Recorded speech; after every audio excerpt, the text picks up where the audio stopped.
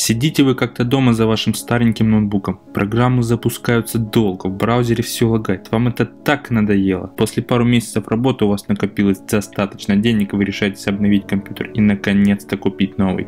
Однако, если вы не преданный пользователь ПК, у вас закрадываются мысли, взять дорогой ноутбук на всем хорошо знакомый Windows или попробовать Mac от Apple. Как быть, ведь про Mac вы не знаете абсолютно ничего, кроме того, что ими пользуются хипстеры в Starbucks и думаете, что вас начнут принимать за одного из них. Недолго думая, вы решили зайти на YouTube.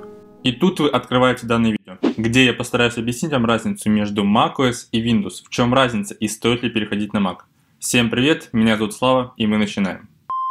В этом видео мы будем смотреть исключительно на ноутбуки, так как это самая популярная категория компьютеров. Для того, чтобы сравнивать ноутбуки на macOS и Windows, нельзя смотреть только на софт. Огромное влияние также влияет железо компьютера, его комплектующие и материалы. Поэтому мы рассмотрим следующие категории. Первое это система в целом, что удобнее делать на macOS, а что удобнее делать на Windows. Второе это софт, третье игры, четвертое производительность. Потом идут дисплей, динамики, тачпад, клавиатура, комфорт при использовании и последним мы рассмотрим экосистему. Итак, Первый пункт – система в целом. Если вы вообще не знакомы с macOS, что это такое, то у меня есть достаточно подробный обзор для новичков, где я рассказываю про основные элементы системы и логики ее работы. Сейчас высветилась плашка в правом верхнем углу, можете его посмотреть. Если брать две системы в целом, macOS и Windows, то на самом деле они очень похожи. Однако в чем существенный плюс для обычных людей в macOS? Интерфейс там намного дружелюбнее для пользователя. В macOS все просто. Все настройки находятся в одном месте с понятным интерфейсом. Все программы собраны в одной папке отображаются как приложение на телефоне. То есть вы видите только иконку. Если нужно удалить, то перекидывайте в корзину и все. С расположением файлов также все понятно. Есть конкретные разделы с документами, фильмами, музыкой и тому подобное. А все внутренние файлы системы спрятаны, чтобы вы случайно что-то не удалили важного. А что с Windows? С последними обновлениями Microsoft, конечно, делает настройку системы легче, однако там до сих пор есть обычные настройки, панель управления, а некоторые настройки вообще вынесены в самых разных частях системы. Также по поводу управления файлами. В Винде неопытному пользователю очень легко запутаться, если у него есть только диск C. Куча разных файлов системы доступны по одному клику, это все только пугает людей. А если посмотреть на дизайн, то Windows, конечно, за последние несколько лет стало выглядеть намного намного свежее. Microsoft потихоньку вводит свой Fluent дизайн, тем не менее, еще очень огромные пласты систем выглядят как из 2000-х. macOS с этим дела обстоят намного лучше. Все элементы выполнены в едином стиле, система чисто визуально пользоваться приятнее. Если по всем вышеперечисленным пунктам винда вроде как проигрывает, то в ее защиту можно сказать то, что как раз таки ее перезагруженность является одновременно и плюсом. В Windows столько всевозможных настроек, что мне кажется, сами инженеры Microsoft их не все знают. И если вы такой человек, который любит настроить систему до мельчайших мелочей, то Windows будет вам ближе. Последний момент в первом пункте, но очень большой в плане работы, это быстрый просмотр. Господи, когда вы начинаете работать с файлами в macOS после перехода с винды, это просто нечто. Не нужно открывать 90% файлов полностью. Нажали на пробел и посмотрели содержимое практически любого файла. Это гениально просто. На месте Microsoft я бы отложил разработку всех других функций и реализовал бы исключительно быстрый просмотр. Потому что это реально то, чего не хватает в Windows в сравнении с macOS. Второй пункт, теперь поговорим про софт. Давайте сразу, если вы инженер, бухгалтер, либо обладатель любой другой профессии, где есть специфический софт наподобие AutoCAD, либо 1С бухгалтерия, то с macOS у вас будут сплошные костыли. Вам придется устанавливать Windows в качестве второй системы на MacBook, потому что тех программ, которые я перечислил, AutoCAD, 1С, еще очень много другого софта нет на macOS. Благо у Apple есть достаточно простая и легкая инструкция, как установить Windows в качестве второй системы на macOS. Тем не менее, смысл покупать такие дорогие ноутбуки, которые создавались для работы в macOS, чтобы потом большинство времени сидеть в Windows и работать там. Легче уже сразу купить ноутбук на винде и не париться, ну как минимум выйдет дешевле. Что касается таких профессий, как программисты, веб-дизайнеры, фотографы и вообще все профессии, которые хоть как-то связаны с творчеством, то Mac это идеальный компьютер для вас. Он был создан для людей творческих профессий и делает на этом упор. Здесь вы найдете наоборот намного больше софта, нежели чем на Windows. По поводу системы управления приложениями. На Mac большинство приложений устанавливается из App Store, как на iPhone, собственно. Windows тоже есть Microsoft Store, но там реально очень мало программ. Тем не менее, в macOS нет запрета на установку приложений из других источников. Некоторых программ macOS нет по разным причинам, можете скачать их с интернета и спокойно установить. Если вы не в курсе, то на Mac даже есть пиратский софт с торрентов, и все установленные приложения легко управляются с одной единственной папки. Если приложение больше не нужно, просто переносите его в корзину и оно удалится. На винде управление программами, конечно, немного сложнее, да к тому же, если рассматривать неофициальный софт, то на винде, думаю, вы сами знаете, как нефиг делать подцепить вирусы. На маке с этим проще. Это миф, конечно, что на macOS совсем нет вирусов, но чтобы именно подцепить вирус, вам нужно будет очень сильно постараться. Если вы покупаете Mac, то вместе с ним вы бесплатно получаете такие приложения, как Pages, Numbers, это наподобие Word и Excel, а также iMovie и GarageBand для монтажа видео и звука соответственно. Вообще в Mac очень много хороших встроенных приложений, которые вы реально можете использовать. Это календарь, FaceTime, почта, заметки. Кто-нибудь из зрителей пользовался хоть раз приложением почта на винде? Это к тому, что встроенные приложения на винде крайне специфичны и 99% пользователей их не используют. На Mac же вы можете пользоваться встроенными, они очень качественные и достаточно удобные. Третьим пунктом я не случайно выбрал игры, потому что это достаточно большая часть жизни многих людей. Можно сказать однозначно, если вы играете на компьютере что-то сложнее пассианса, то Mac это точно не для вас. И даже если вы купите MacBook Pro 15 с дискретной графикой в максимальной комплектации, то игры у вас все равно будут лагать. Все потому, что macOS эта система вообще не про игры только работа и потребление контента. Конечно, вы можете поиграть здесь в CSGO или популярную нынче Fortnite, но и то с проседающими FPS в динамичных сценах.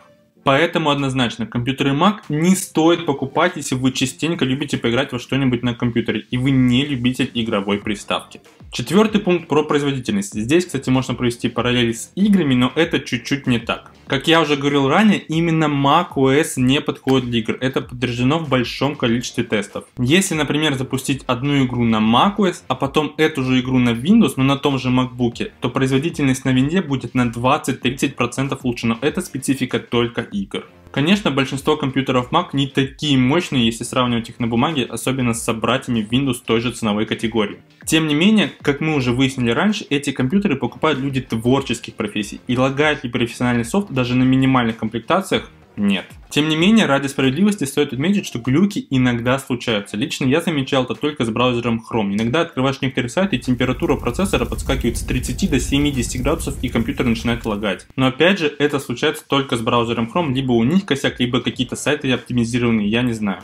Но в остальном все работает отлично и достаточно производительно. Я обычно ставлю на рендер 4К ролик 15-20 минут со всякими эффектами, переходами, цветокоррекцией и тому прочее. И рендер у меня происходит от 20 до 40 минут. На аналогичном ультрабуке, но на Windows, если честно, я не представляю, сколько бы это у меня заняло времени. Пятый пункт про дисплей. Как я уже говорил ранее, невозможно сравнивать операционные системы и перехода с одной на другую без привязки к хардверной части. Apple в свое время очень сильно раскрутили бренд Retina дисплеев. Правильно, кстати, Retina, а не Retina. Это обозначает минимальное количество пикселей на дюйм, обычно 300, то есть когда человеческий глаз на близком расстоянии не различает этих пикселей на дисплее. Но для разных размеров дисплеев минимальное количество пикселей на дюйм может чуть-чуть изменяться. Например, в моем MacBook Pro 13 2017 года разрешение разрешение составляет 2560 на 1600 пикселей, то есть 227 ppi, то есть пикселей на дюйм. Например, давайте возьмем Huawei MateBook X, разрешение составляет 3000 на 2000 пикселей, при диагонали 13,9 дюймов PPI составляет 259. Вроде бы круто, как минимум лучше, чем на MacBook. Но в чем проблема всех Windows ноутбуков с 4К дисплеями и их подобными? Проблема в том, что Windows до сих пор очень плохо оптимизирована для дисплеев с большим разрешением. При обычных настройках там все настолько маленькое, что невозможно читать текст и нажимать на иконки. Однако, если вы увеличите Scale до 125 или 150%, то вроде бы все окей. Но в чем прикол? Весь интерфейс становится больше, но при этом он не сохраняет ту же четкость, а просто увеличивает картинку. Для лучшего понимания, это, например, когда вы снимаете видео на телефон и делаете приближение цифровой, и у вас объект как бы становится больше, но четкость его снижается. macOS, в свою очередь, прекрасно адаптирована для дисплеев с большим разрешением. Можно тот же iMac 5K для примера взять. Ваша картинка всегда будет оставаться четкой и, что самое главное, удобной для восприятия. А качество матрицы это что-то нечто. В MacBook, пожалуй, ставят лучшие IPS IPS-матрицы во всем мире. От них не устают глаза от слова совсем. Картинка сочная, ее хочется смотреть и не отрываться, особенно когда смотришь ролики на ютубе в 4К. Но это все справедливо для MacBook, где стоит Retina дисплей. Если вы возьмете, например, старенький MacBook Air прошлого поколения в старом дизайне, там у них стоит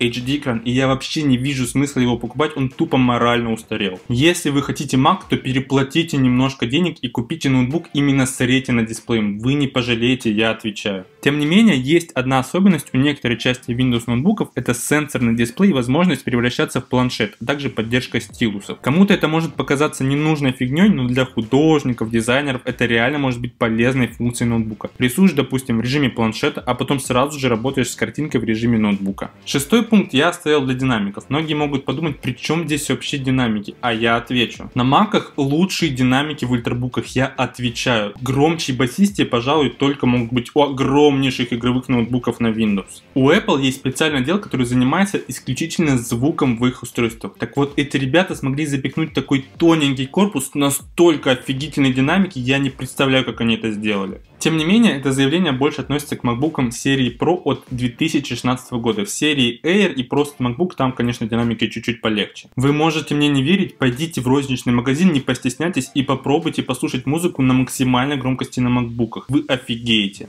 До того, как у меня появился Mac, я не очень-то сильно обращал внимание на звук на ноутбуках. Ну, есть и есть, что с него взять. Однако, когда ты получаешь звук такого уровня в ультрабуках, при прослушивании музыки, просмотре фильмов или роликов на YouTube, это просто нечто.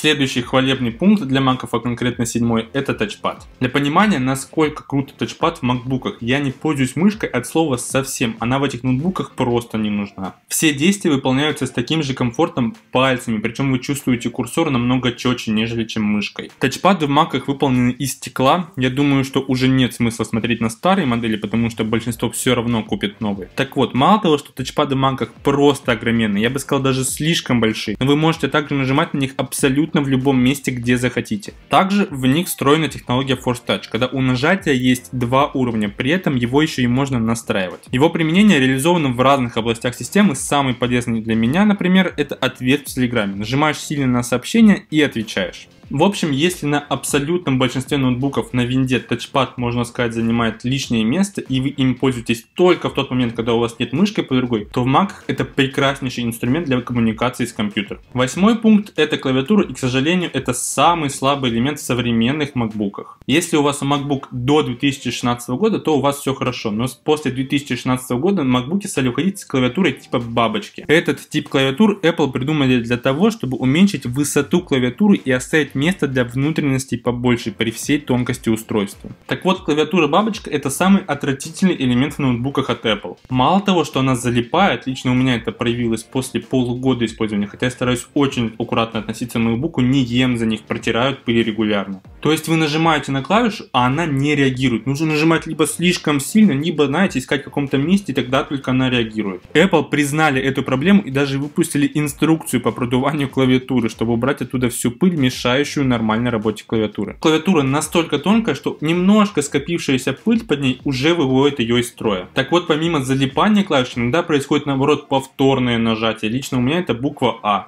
Иногда печатаешь текст целыми абзацами, а потом смотришь, что в некоторых словах, где есть буква А, у тебя их по две штуки подряд. Также многие утверждают, что из-за слишком тонкого расстояния между дисплеем и клавиатурой, клавиатура может царапать немножко дисплей штуками, которые на ней есть. В момент, когда ноутбук собран, но лично у меня это убирает является простым протиранием тряпочки. Но помимо всего перечисленного, клавиатура достаточно громкая. Если вы будете печатать достаточно быстро, то как бы вы ни старались, вы все равно будете издавать много шума. И даже если вы будете очень мягко нажимать на клавиатуру. В макбуках от 2018 года в клавиатуру добавили силиконовую прослойку, которая призвана как раз таки защищать от пыли и от громкого звука. Однако жалобы на нее до сих пор остаются. Если ваша профессия хоть как-то близко связана с большим набиранием текста, то покупайте макбуки до 2016 года, либо от от 2018, но, как я уже сказал, у вас все равно могут встречаться проблемы. Даже я, человек, который не слишком много печатает тексте на ноутбуке, выхожу из себя каждый раз, когда у меня залипает какая-нибудь клавиша, либо буква А печатается несколько раз. А представьте, если это ваша профессия печатать текст на ноутбуке, то вы просто потратите все нервы на это. Поэтому я бы даже не стал рисковать и лучше бы купил ноутбук на Windows с нормальной клавиатурой.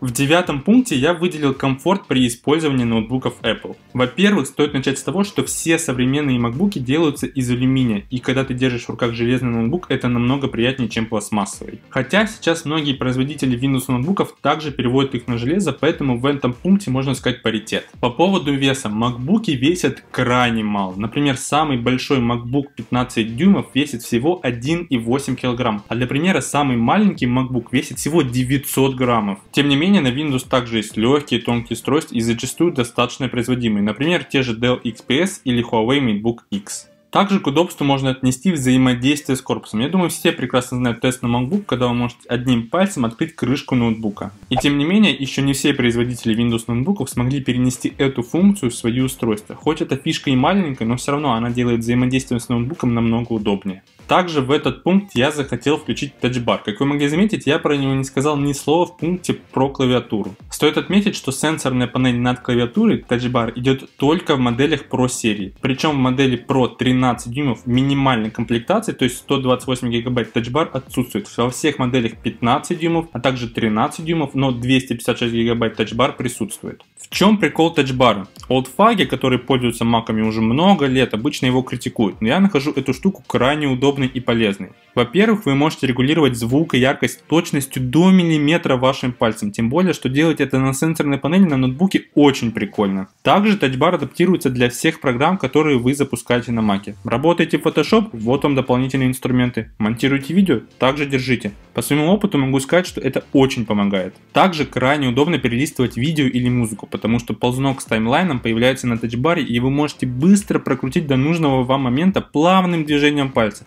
Кайф доставляет нереальный при каждом использовании. В общем, я нахожу тачбар крайне полезной штукой. Если вы много работаете с музыкой, видео, либо специализированных программах, как Photoshop, то тачбар очень сильно может улучшить вашу работу. Еще один немаловажный момент – это гарантия. Apple реально молодцы в плане поддержки своих устройств. Если у вас что-то тьфу-тьфу пойдет не так, вы принесете ваш ноутбук в сертифицированный сервис-центр, то вас не будут пытаться обмануть, а реально постараются помочь. Также вы можете вбить серийный номер вашего ноутбука на сайте Apple, узнать, какая гарантия вам может осуществить осуществляться бесплатно. Десятый, последний пункт – это экосистема. Если вы владелец iPhone, то при работе с маками вы можете получать такие дополнительные функции, как Continuity, например, копируете текст на телефоне, вставляете на компьютере, либо наоборот. Можете совершать, либо принимать звонки, когда iPhone находится рядом с MacBook, а такие программы, как почта, календарь заметки, моментально синхронизируются между устройствами. Есть AirDrop, с помощью которого можно по воздуху быстро передавать достаточно большие файлы, например, как видео. Это очень удобно. Тем не менее, если у вас Android Android, как у меня, теряете ли вы что-то? Да, скорее всего, нет. Все эти дополнительные фишки с iPhone просто делают работу чуть-чуть удобнее, но Mac можно также спокойно пользоваться, если у вас Android телефон. Единственное, что я бы хотел получить при связке MacBook и Android телефон, так это возможность совершать либо принимать звонки на компьютере, а также передавать файлы через воздух, потому что провод проводом, но без них как-то удобнее. Вывод. Так стоит ли переходить на Mac? Мой вердикт такой, да, если вы используете MacBook для работы. Но, как я уже сказал, он недостаточно хорошо подходит для всех профессий. Любите поиграть в игры? Вообще мимо. Лучше купить реальный игровой ноутбук, тем более по деньгам выйдет примерно то же самое. Также, если ваша работа связана с написанием большого количества текста на ноутбуке, то советую брать MacBook до 2015 года, либо лучше возьмите аппарат на Windows, потому что там везде клавиатуры нормальные. А если у вас просто есть деньги и вы думаете взять вам MacBook, либо среднестатистический Windows, то я бы все-таки советовал вам взять MacBook, потому что он дарит новые эмоции и потреблять контент с него сплошное удовольствие. Также, если вы захотите продать MacBook на вторичном рынке, вы как минимум не потеряете много в цене и быстро найдете покупателя. Попробуйте продать Windows ноутбук какой-нибудь среднестатистический, которому 2-3 года, это хер его кто купит. Как-то так, в одном из следующих роликов расскажу про свой пользовательский опыт с Maggi MacBook Pro 13 2017 года с тачбаром, как с ним обстоят дела после одного года использования. Очень надеюсь, что в этом видео я кому-то помог определиться и узнать что-то новое о ноутбуках Apple, их преимуществах и недостатках. У меня на этом все. Пользуйтесь хорошими ноутбуками. Всем удачи, всем пока.